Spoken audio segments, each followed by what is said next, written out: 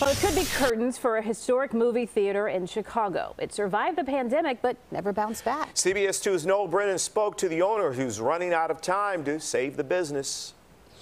I take these down and put them up outside. There's a fine line between film buff We're playing Creed 3. and movie obsessed. My wife stopped this, but I used to organize our Blu-rays and DVDs alphabetically by director. Aaron Lawson crossed over long ago. I get a little obsessive about the things I care about, so. He's manager of the new 400 theaters in Rogers Park, March is stacked. arguably the oldest running movie theater in the city. I think maybe it didn't start really operating as a regular movie theater maybe until like 1912, but this is like a cool, small, affordable neighborhood theater that I would love to see stick around and it would be yeah, I'd be I'd be really sad if it didn't. But it's hard to keep going if the audience doesn't fill empty seats.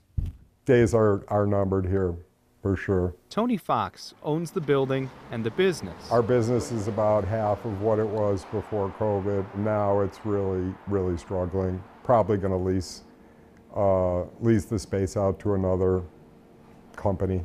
Soon, it may not be the same place that attracted generations of movie lovers. I had my my first date with my wife here and uh and it's yeah, it's if this place was to go away, it's really it's it's it's a bummer. It's hard to picture empty seats suddenly full. And the crowds just start coming back tonight and tomorrow and next week. And then we'll stay open. I, I don't have any definite commitments one way or the other.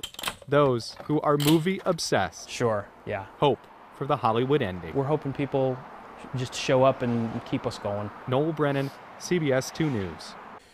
The owner also told Noel he does not expect new owners to keep it as a movie theater. It could be a nightclub, bar, or daycare center.